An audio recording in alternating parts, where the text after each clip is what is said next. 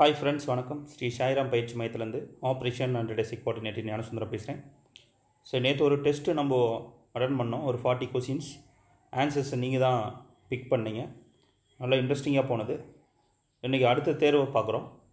So இதற்கும் நான் கொஷின்ஸை படிக்க போகிறேன் நாலு ஆப்ஷனில் சரியான ஆன்சர் என்ன அப்படிங்கிறது நீங்கள் தான் சொல்ல போகிறீங்க ஜஸ்ட் நான் ஃபைனலாக சரியா இல்லையா அப்படிங்கிற ஒரு ஒரு கீயாக தான் நான் செயல்பட போகிறேன் ஸோ இந்த வீடியோ ஸ்கிப் பண்ணாமல் கடைசி வரைக்கும் பாருங்கள் உங்களுக்கு இந்த வீடியோ கடைசியாக பார்த்துட்டு உங்களுக்கு பிடிச்சிருந்தா சப்ஸ்கிரைப் பண்ணிட்டு கூட இருக்கக்கூடிய பெல் ஐக்கனை கிளிக் பண்ணுங்கள் இது போன்ற வீடியோவை நம்ம தொடர்ந்து அப்லோட் பண்ணுறதுக்கு எனக்கு சப்போர்ட் பண்ணுங்கள் முதல் கேள்விக்கு போயிடலாம். ஸ்டெத்தஸ்கோப்பை கண்டுபிடித்தவர் யார்? ஸோ ஆப்ஷன்ஸ் நாலு ஆப்ஷன் கொடுத்துருக்கேன். நீங்கள் படித்து பார்த்தா ஆன்சர் கரெக்டான ஆன்சரை நீங்கள் தான் பிக் பண்ணணும். டக்குன்னு அவசரப்பட்டு பிக் பண்ணாதீங்க. ஸோ நல்லா படித்து உங்களுக்கு சரி இதுதான் அப்படின்னு ஒரு கெஸ் பண்ணிக்கோங்க. கெஸ் பண்ணிட்டீங்க அப்படின்னா இப்போ நான் ஆன்சர் சொல்ல போகிறேன் ஸோ ஆப்ஷன் டி என்பது சரியான பதில். ஸோ எத்தனை பேர் சரியாக யோசிச்சிங்களோ அவங்களுக்கு என்னுடைய வாழ்த்துக்கள். ரெண்டாவது கொஷின் பாருங்கள் மிகவும் சாய்ந்துள்ள அச்சை பெற்றுள்ள கோல் எது? அதாவது தொண்ணூற்றி எட்டு டிகிரி வந்து அந்த கோல் சாஞ்சிருக்குன்னு சொல்கிறாங்க கொடுக்கப்பட்ட நாலு ஆப்ஷனில் எந்த ஆப்ஷன் இந்த கேள்விக்கு சரியான பதில்? நீங்கள் தான் சரியாக கண்டுபிடிக்கணும். இது உங்களுக்கான நேரம். கரெக்டாக ஆன்சர் சொல்லுங்கள் அவசரப்பட்டு எந்த ஒரு கேள்விக்கும் தவறாக ஆன்சர் பண்ண வேண்டாம். ஸோ ஆப்ஷன் யுரேனஸா நெப்டியூனா வியாழனா சனியா ஸோ கெஸ் பண்ணியிருப்பீங்கன்னு நினைக்கிறேன். ஆன்சர் நான் டிக் பண்ண போகிறேன் ஸோ யுரேனஸ் என்பது சரியான பதில். மூணாவது கொஷின் ஒரு ஈஸியான இம்பார்ட்டன்ட் கொஷின் ப்ராஜெக்ட் டைகர் புலிகளை பாதுகாக்க திட்டம் கொண்டு வர தொடங்கப்பட்ட ஆண்டு. அதுதான் ப்ராஜெக்ட் டைகர் டைகர் அப்படின்னு சொல்லுவாங்க. ஸோ அதற்கான ஆப்ஷன்ஸ் கீழே கொடுத்துருக்கேன். ஆயிரத்தி தொள்ளாயிரத்தி எழுபத்தி ரெண்டு ஆயிரத்தி தொள்ளாயிரத்தி எழுபத்தி மூணு ஆயிரத்தி தொள்ளாயிரத்தி எழுபத்தி அஞ்சு ஆயிரத்தி தொள்ளாயிரத்தி எழுபத்தி எட்டு. சரியான ஆன்சரை நீங்கள் கெஸ் பண்ணியிருப்பீங்கன்னு நினைக்கிறேன். ஆன்சரை டிக் பண்ணிடலாமா? ஸோ சரியான பதில் ஆயிரத்தி தொள்ளாயிரத்தி எழுபத்தி மூணு. சில பேர் என்ன சொல்லுவாங்க அப்படின்னா ஆயிரத்தி தொள்ளாயிரத்தி எழுபத்தி ரெண்டு தானே சரியான ஆன்சர் அப்படின்னு சில பேர் நினைக்கலாம். அதாவது பார்த்திங்கன்னா நமது தேசிய விலங்கு ஆரம்ப கட்டத்தில் சிங்கமாக இருந்தது. அதே ஆண்டு ஆயிரத்தி தொள்ளாயிரத்தி எழுபத்தி ரெண்டில் கடைசியாக சிங்கத்தை நீக்கிட்டு புலியை நம்ம தேசிய விலங்காக கொண்டு வந்திருப்போம். ஸோ அதுக்கு தான் அது சரியான விளக்கமாக வரும். நாலாவது கொஷின் பார்க்கலாம். மூளையின் செயல்பாட்டு கோளாறுகளை அறிய பயன்படுவது எது? ஸோ இது ஒரு ஈஸியான கொஷின் நீங்கள் பார்த்த உடனே ஆன்சர் பண்ணலாம். நாலு ஆப்ஷன் பாருங்கள் இசிஜி சிடி இஇஜி எம்ஆர்ஐ இந்த நாலு சோதனையில் எந்த சோதனையின் மூலம் மூளையின் செயல்பாட்டு கோளாறுகளை அறிய பயன்படும் அப்படின்னு கேட்டிருக்காங்க. இதற்கு சரியான பதில் கெஸ் பண்ணியிருப்பீங்கன்னு நினைக்கிறேன். ஆன்சர் இஇஜி அப்படிங்கிறது தான் சரியான பதில். அடுத்த கொஷின் பாருங்கள் இது ஒரு கூற்றாக கொடுத்துருக்காங்க. இந்த கூற்றில் எது சரி எது தப்புன்னு நீங்கள் தான் கண்டுபிடிக்கணும். கீழ்கண்ட கூற்றுகளில் சரியானவை எவை? முதல் கூற்று என்னென்னா பிற்பட்ட வேத காலத்தில் பெண்களின் நிலை உயர்ந்து இருந்தது அப்படின்னு சொல்கிறாங்க இது சரியா தப்பா அப்படிங்கிறது நீங்கள் திங்க் பண்ணிக்கோங்க. ரெண்டாவது பாருங்கள் பிற்பட்ட வேத காலத்தில் வருணாசிரம் கொள்கை நிலை பெற்றது. இந்த ஆப்ஷனும் சரியாக தவறான கிளிக் பண்ணிக்கோங்க. மூணாவது ஆப்ஷன் பிற்பட்ட வேத காலம் இதிகாச காலம் என அழைக்கப்படுகிறது. அப்படிங்கிறது சரியாக தவறான்னு யோசிச்சுக்கோங்க.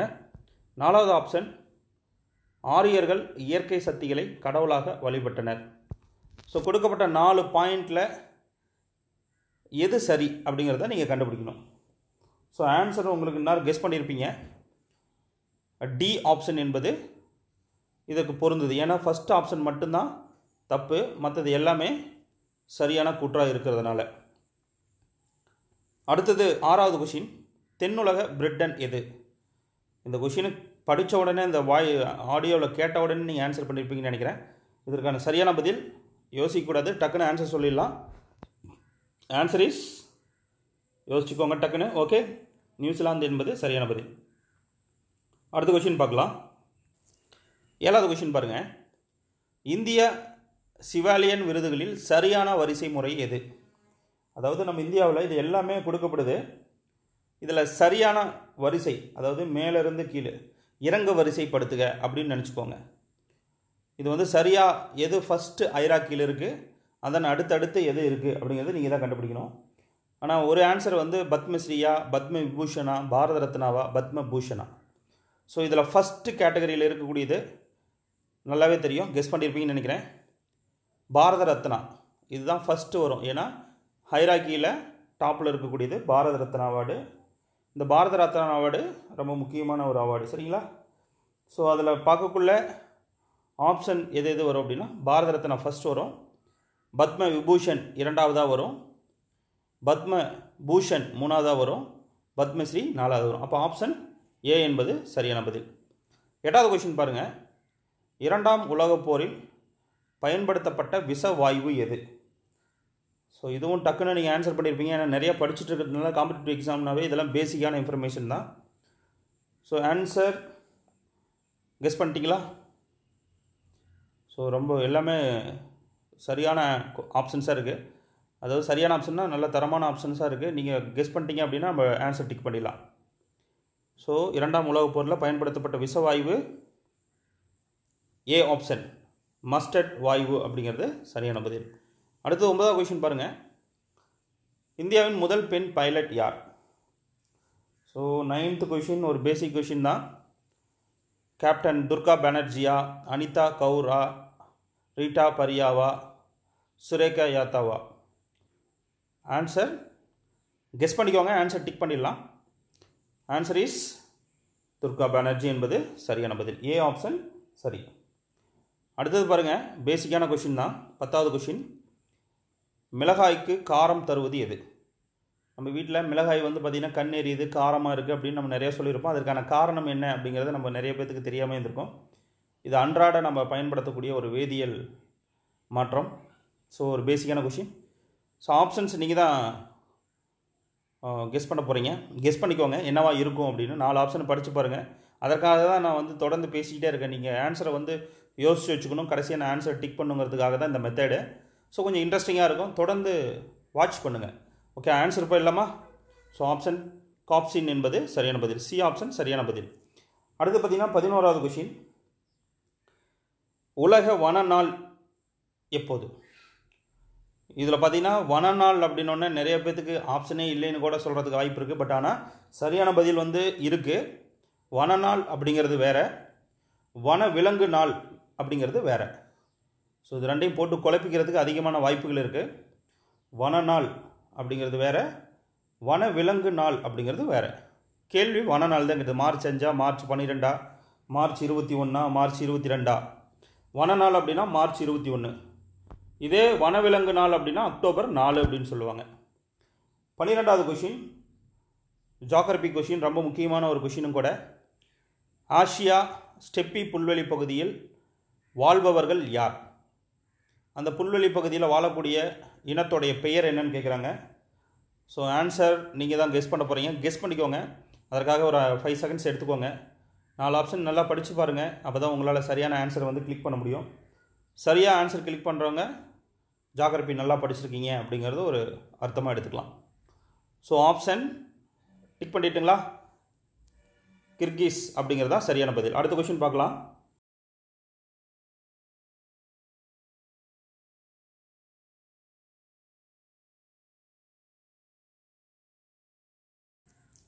ஸோ நெக்ஸ்ட் கொஷினும் ஒரு பெரிய கூற்று கொடுத்துருக்கு. கூற்று பார்த்தோன்னே இந்த கொஷின்ஸை வந்து ஒமிட் பண்ண வேணாம். ஜஸ்ட் கவனிங்க. கீழ்கண்ட கூற்றுகளில் சரியானவை எவை? மொத்தம் நாலு பாயிண்ட்ஸ் கொடுத்துருக்காங்க. அந்த நாலு பாயிண்ட்ஸில் எது சரி அப்படின்னு நம்ம கெஸ் பண்ணி ஆப்ஷன்ஸுக்கு தகுந்த மாதிரி ஆன்சர்ஸ் கொடுக்கணும். ஸோ நல்ல கவனமாக கிடைக்கும். ஃபஸ்ட் பாயிண்ட் படிக்கிறேன். நிலநடுக்கோட்டில் இருந்து நில நிலநடுக்கோட்டின் வடக்கிலும் தெற்கிலும் ஐந்து டிகிரி அச்சம் வரை உள்ள குறைவழுத்த பகுதி டால் ஸ்ரீராம் அப்படின்னு சொல்லுவாங்க அப்படின்னு சொல்கிறாங்க ரெண்டாவது பாயிண்ட்டு டால் ஸ்ரீராம் என்ற சொல்லுக்கு அமைதி பட்டை என்பது பொருள் அப்படின்னு சொல்கிறாங்க மூணாவது பாயிண்ட்டு வட தென் அச்சங்களில் முப்பது டிகிரி முதல் முப்பத்தி அஞ்சு டிகிரி வரை உள்ள வெப்பமண்டல அதிகம் அழுத்தப்பட்டை குதிரை அச்சங்கள் எனப்படும் அப்படின்னு சொல்கிறாங்க நாலாவது பாயிண்ட் துணை துருவ குறைவழுத்தப்பட்டை அறுபது டிகிரி முதல் அறுபத்தி அஞ்சு டிகிரி வரை வட தென் அச்சங்களில் பரவி உள்ளது அப்படின்னு சொல்கிறாங்க ஸோ இதில் எது சரி அப்படிங்கிறது நீங்கள் தான் கெஸ் பண்ணணும். ஆப்ஷன் பார்த்தீங்கன்னா உங்களுக்கு ஏ ஆப்ஷனா பி ஆப்ஷனா சி ஆப்ஷனா டி ஆப்ஷனா? ஆன்சர் கிளிக் பண்ணிடலாமா? ஜஸ்ட்டு கொஞ்சம் யோசிங்க. ஏன்னா இந்த கொஷின்ஸ் கொஞ்சம் லென்த்தாக இருக்கிறதுனால நீங்கள் கெஸ் பண்ணுறதுக்கு கொஞ்சம் டைம் தரேன். ஒரு ஃபைவ் செகண்ட்ஸ் ஓகேங்களா ஸோ யோசிங்க. டக்குன்னு நான் படிக்கக்குள்ளேயே கவனமாக இருந்திருந்தீங்க அப்படின்னா டக்குன்னு ஆன்சர் பண்ணிடலாம். ஓகே ஆன்சருக்கு போயிடலாம். ஆன்சர் சி என்பது சரியான பதில். அடுத்தது பதினாலாவது கொஷின் அணு கட்டமைப்பு கண்டுபிடித்தவர் யார்? அணுவுடைய கட்டமைப்பு கண்டுபிடித்தவர் யார் அப்படிங்கிறது நீங்கள் தான் சொல்லணும். நாலு ஆப்ஷன் இருக்குது Chadwick John Dalton Niels Bohr Einstein அப்படின்னு ஆப்ஷன் இருக்குது அணு கட்டமைப்புனா டக்குன்னு நேரம் ஆன்சர் யோசிச்சிருப்பீங்க. நீங்கள் யோசித்த ஆன்சர் நீங்கள் மைண்டில் வச்சுருக்கிற ஆன்சர் சரியா இல்லையா அப்படிங்கிறத செக் பண்ணிடலாம். நீல் ஸ்போர் என்பது சரி. சரியாக இருந்தால் வெரி குட் அடுத்த கொஷின் அதிக வெப்ப ஆற்றலை தரும் நிலக்கரி எது? இந்த கொஷின் படித்து முடித்த உடனே அடுத்தது ஆன்சர் நீங்கள் யோசிச்சிருப்பீங்க நல்லா தெரியும். லிக்னைட்டா ஆந்த்ரசைட்டா பிட்மனஸ் அப்படியா? இதில் எது சரியான அதிக ஆற்றலை தரக்கூடிய நிலக்கரி? ஆன்சர் போயிடலாங்களா? கெஸ் பண்ணியிருப்பீங்க அதனால் ஆன்சர் போயிடுறேன். ஆந்த்ரசைட்ஸ் அப்படிங்கிறது சரியான பதில்.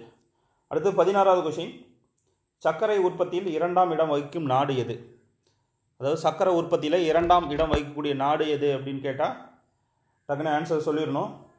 எல்லாருமே பார்த்தீங்கன்னா இந்தியா உலகின் ச சர்க்கரை கிண்ணம் அப்படின்னு ஆன்சர் வந்து எதை சொல்லுவீங்க நல்லா தெரியும். பட் ஆனால் இங்கே என்ன கேட்குறாங்க இரண்டாம் இடம் வகிக்கும் நாடு அப்படின்னு கேட்குறாங்க கொஞ்சம் கவனமாக ஆன்சர் பண்ணும் ஸோ கெஸ்ஸிங்கை வந்து ஏ அல்லது பி இந்த ரெண்டில் எது அப்படின்னு பார்த்தோம்னா பிரேசில் என்பது சரியான பதில். பத் பதினேழாவது கொஷின் பொது மக்களிடம் உள்ள புழக்கப்பணம் என்பது என்ன? அதாவது M one M two M three M ஃபோர்னு சொல்கிறாங்க மக்களிடம் இருக்கக்கூடிய புழக்கத்தில் இருக்கக்கூடிய பணம். அப்படிங்கிறது என்ன அப்படிங்கிறத டக்குன்னு ஆன்சர் கெஸ் பண்ணியிருந்திருப்பீங்க. ஸோ அதுதான் first category answer M one என்பது சரியான பதில். பதினெட்டாவது கொஷின் பாருங்கள் முதுகெலும்பு தொடரில் பகுதியில் எத்தனை? முதுகெலும்பு தொடரின் பகுதியில் எத்தனை? அதாவது நமக்கு முதுகெலும்புகள் பின்னாடி பார்த்திங்கன்னா நிறைய முள்ளெலும்புகள் இருக்கும். அதை அவங்க கேட்கல. அது எத்தனை செக்டாராக பிரித்து சொல்லியிருக்காங்க அப்படிங்கிறதான் கேட்குறாங்க. அதாவது கழுத்து பகுதி அதுக்கு கீழே இருக்கிறது நடுப்பகுதி கீழே அதுக்கப்புறம் வால் பகுதி இந்த மாதிரி கேட்டகரியை பிரிச்சிருப்பாங்களே அந்த கேட்டகரியை அவங்க கேட்குறாங்க. அப்போ ஆன்சர் ரெண்டா அஞ்சா ஏழா பத்தா? ஸோ ஆன்சர் அஞ்சு என்பது சரியான பதில். அடுத்த கொஷின் பார்க்கலாம்.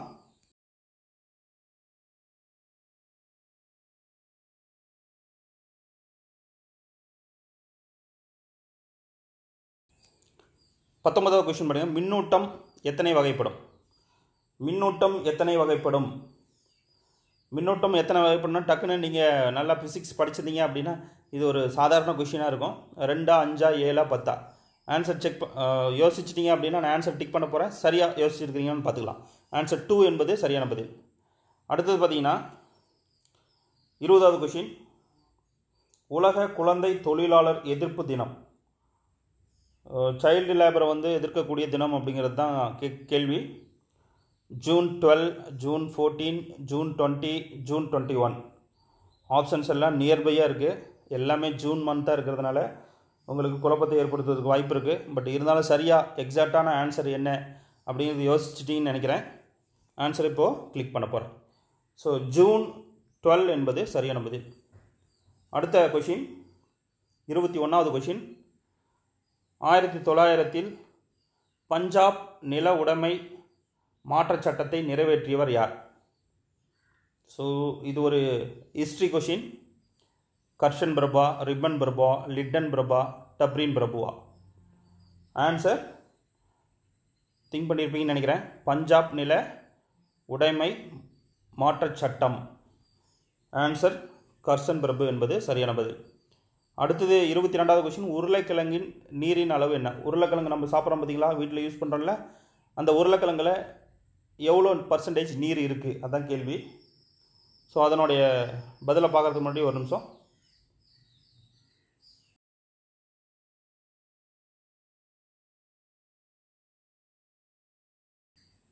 ஓகே ஆப்ஷன் எழுபத்தி மூணு பர்சன்டேஜ் எழுபத்தஞ்சு பர்சன்டேஜ் இருபத்தஞ்சு பர்சன்டேஜ் எயிட்டி ஒன் பர்சன்டேஜ் இருக்குது அதில் சரியான பதில்? பி ஆப்ஷன் செவன்ட்டி ஃபைவ் என்பது சரியான பதில். அடுத்தது இருபத்தி மூணாவது கொஷின் நல்ல ஒரு பேசிக்கான ஜிகே கொஷின் மை ட்ரூத் நூலின் ஆசிரியர் யார்? ஸோ இதற்கான சரியான பதில் நீங்கள் தான் கெஸ் பண்ணுவீங்க. நாலு ஆப்ஷன் படிங்க. அதுக்காக டைம் தான் இப்போ கொடுத்துட்ருக்கேன் Jawaharlal Nehru Lala Lajpat Rai Annie Besant Indira Gandhi. My truth. Guess பண்ணிட்டீங்களா? ஆன்சரை டிக் பண்ணிடலாம். ஓகே இந்திரா காந்தி என்பது சரியான பதில். அடுத்த பார்த்தீங்கன்னா இருபத்தி நாலாவது கொஷின் சர்வதேச குடியரசர்கள் குடியரசுகள் தினம். ஆக்சுவலாக இதுக்கு பதிலாக சர்வதேச மக்களாட்சி தினம் அப்படின்னு நான் கொடுத்துருக்கணும். அது ஒரு சின்ன மிஸ்டேக்காக குடியரசுகள் தினம் அப்படின்னு சொல்லி கன்ஃபியூஸ் பண்ணிட்டேன். சர்வதேச மக்களாட்சி தினம். ஆன்சர் செப்டம்பர் எயிட்டா செப்டம்பர் லெவனா செப்டம்பர் ஃபோர்டீனா செப்டம்பர் ஃபிஃப்டீனா ஆன்சர் நீங்கள் தான் கெஸ் பண்ணணும். ஸோ சரியான பதில் திங்க் பண்ணியிருப்பீங்கன்னு நினைக்கிறேன். செப்டம்பர் பதினஞ்சு. இதே செப்டம்பர் பதினஞ்சில் சர்வதேச பொறியாளர் தினம் அப்படின்னு சொல்லுவோம் இன்ஜினியரிங் டே இன்ஜினியரிங் படித்தவங்களாம் மனசில் வச்சுக்கோங்க. இந்த வீடியோ பார்த்துட்டு இருக்கிறவங்களாம் உங்களுடைய தினம் இது. அப்படின்னு ஞாபகம் வச்சு படிச்சிங்கன்னா லைஃப்பில் எப்பவுமே மறக்க மாட்டீங்க. ஓகே இருபத்தஞ்சாவது கொஷின் சுக்ரோஸில் குளுக்கோஸும் ஃப்ரக்டோஸும் பிணைக்கப்பட்டிருப்பது எப்படி? அதாவது எப்படி பிணைக்கப்பட்டிருக்கு அப்படின்னு கேட்டிருக்காங்க. ஸோ ஆப்ஷன் நாலு ஆப்ஷன் கொடுத்துருக்கேன். எது சரியான ஆன்சர் அப்படிங்கிறத நீங்கள் கொஞ்சம் திங்க் பண்ணுங்கள் நம்ம ஆன்சரை டிக் பண்ணலாம். ஸோ திங்க் பண்ணிட்டீங்களா? Option B C one minus C two இருபத்தி ஆறாவது கொஷின் இந்திய சிவில் விமான போக்குவரத்தின் தந்தை. இது வந்து இது வந்து படிக்கணும் நெசசரியே கிடையாது. ஆன்சர் டக்குன்னு ஆன்சர் பண்ணியிருப்பீங்க ஆன்சர் ஜேஆர்டி டாடா என்பது சரியான பதில். அடுத்த கொஷின் பார்க்கலாம்.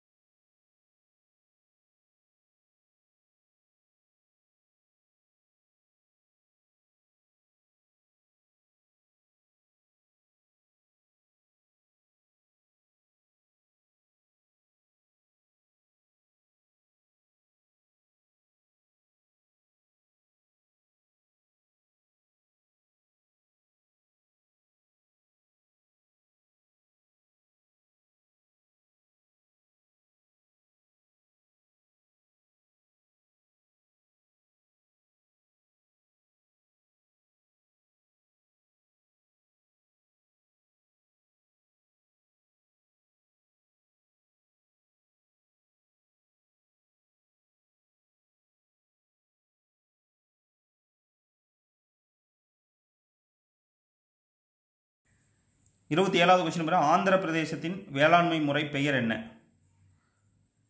ஜூம் பொடு மாசான் பொன்னம். ஆப்ஷன் யோசிச்சுக்கோங்க. ஆன்சர் டிக் பண்ணிடலாம். இதெல்லாம் ரொம்ப நேரம் எடுத்துக்கூடாது. ஆன்சர் கொஷின் படித்தோடனே ஆன்சர் பண்ணும். ஸோ ஆன்சர் இஸ் டிக் பண்ணிடலாமா? பி ஆப்ஷன் பொடு என்பது சரியான பதில் இருபத்தி எட்டாவது கொஷின் இந்தியாவில் முழுவதும் ஒரே மாதிரியான கல்வி முறை. Tenth plus two plus three எந்த ஆண்டு முதல் பின்பற்றப்பட்டது. இன்றைக்கி நம்ம படிக்கக்கூடிய எஜுகேஷன் சிஸ்டம் எந்த ஒரு எக்ஸாமாக இருந்தாலும் கல்வி தகுதி எப்படி வச்சுருக்காங்க? பத்தாவது முடித்து பன்னிரெண்டாவது முடித்து டிகிரி முடிச்சிருக்கணும். அப்போ தான் சில பரீட்சைக்கெலாம் எலிஜிபிள் அப்படின்னு சொல்லுவோம் அந்த கல்வி முறையை எந்த ஆண்டுலேருந்து பின்பற்றப்படுகிறது? இதுதான் கேள்வி. ஸோ ஆப்ஷன் நைன்டீன் சிக்ஸ்டி ஒன்னா நைன்டீன் சிக்ஸ்டி த்ரீயா நைன்டீன் சிக்ஸ்டி ஃபைவா நைன்டீன் சிக்ஸ்டி எயிட்டா ஆப்ஷன் திங்க் பண்ணியிருப்பீங்கன்னு நினைக்கிறேன். ஆன்சர் போயிடலாம். So answer nineteen sixty eight இதில் வந்து நிறைய பேர் குழப்பிக்குவாங்க. இது வந்து சரியான ஆன்சர் வந்து நைன்டீன் சிக்ஸ்டி சிக்ஸ் தான் அப்படின்லாம் யோசிப்பாங்க. பட் அது அந்த கமிட்டி கொண்டு வந்தது அடாப்ட் பண்ணது சிக்ஸ்டி எயிட்டில் தான். இருபத்தி ஒம்பது பாருங்கள் பாக்டீரியா என்பதற்கு டேஷ் என்று பொருள். குச்சி நச்சு சாம்பல் வெண்மை. இதுக்கெல்லாம் டைமே உங்களுக்கு தேவையில்லைன்னு நினைக்கிறேன். படித்தோன்னே ஆன்சர் பண்ணியிருப்பீங்க இவ்வளோ தூரம் நான் பேசிட்டு நேரத்துலேயே நீங்கள் ஆன்சர் செக் பண்ணியிருப்பீங்க ரைட் குச்சி என்பது சரியான பதில் முப்பதாவது கேள்வி. கவசத்தின் சராசரி அடர்த்தி எண் என்ன? கவசம். அதனுடைய சராசரி அடர்த்தி. ஆப்ஷன் பாருங்கள் மூணு கிராம் பை சென்டிமீட்டர் எட்டு கிராம் பை சென்டிமீட்டர் பன்னிரெண்டு கிராம் பை சென்டிமீட்டர் பதினஞ்சு gram by centimetre so answer thirtieth கொஸ்டின்ஸுக்கு guess பண்ணிக்கோங்க. ஆன்சர் டிக் பண்ணிடலாம். Answer three eight twelve fifteen கொடுத்துருக்க answer B option eight gram by centimetre. முப்பத்தி ஒன்றாவது கொஷின் பொதிகை மலையை ஆட்சி செய்த குறுநில மன்னன் யார்? பேகன் பாரி அதியமான் ஆய் அப்படின்லாம் சொல்லியிருக்காங்க. ஆன்சர் தமிழ் படித்தவங்க நேரம் டக்குன்னு ஆன்சர் பண்ணியிருப்பீங்க பட் தெரியாதவங்க ஒன்றும் பிரச்சனை கிடையாது. தெரிஞ்சுக்கிறதுக்கு தான் இந்த video so answer guess uh, பண்ணியிருப்பீங்கன்னு நினைக்கிறேன். ஆய் என்பது சரியான பதில். இது முப்பத்தி ரெண்டாவது கொஷின் இருபால் மலரின் காணப்படும் அடுக்குகளின் எண்ணிக்கை. இது ஒரு பாட்டனி கொஷின் கொஞ்சம் யோசிக்க வேண்டிய கொஷின் கூட. ஆப்ஷன் டூவா த்ரீயா ஃபோரா ஃபைவா ஆன்சர் தெரிஞ்சவங்க எக்ஸாக்டாக ஆன்சர் யோசிச்சுக்கோங்க. தெரியாதவங்க நாலு ஆப்ஷனில் ஏதோ ஒன்று கிளிக் பண்ணுங்கள் உங்கள் ஆன்சர் சரியா இல்லையா அப்படிங்கிறத செக் பண்ணிடலாம். இருபால் மலையில் காணப்படும் அடுக்குகளின் எண்ணிக்கை ரெண்டு என்பது சரியான பதில். அடுத்த கொஷின் பார்த்துடலாம். அடிமை மரபை தோற்றுவித்தவர் யார்? அது மம்லூக் மரபு அப்படின்னு சொல்லுவாங்க. அடிமை மரபு மரபை தோற்றுவித்தவர். டெல்லி சுல்தான் ஸ்டார்ட் ஆகுது. ஸோ அதில் சரியான பதில் நீங்கள் படித்த கொஷினு படித்த உடனே ஆன்சர் சொல்லியிருப்பீங்க குப்துதீன் ஐபக் இல்துமிஷ் பால்பன் முகமது கோரி. இதில் சரியான பதில்? டிக் பண்ணிடலாமா? யோசிச்சுக்கோங்க. குப்துதீன் ஐபக் என்பது சரியான பதில். அடுத்த கொஷின் பார்க்கலாம்.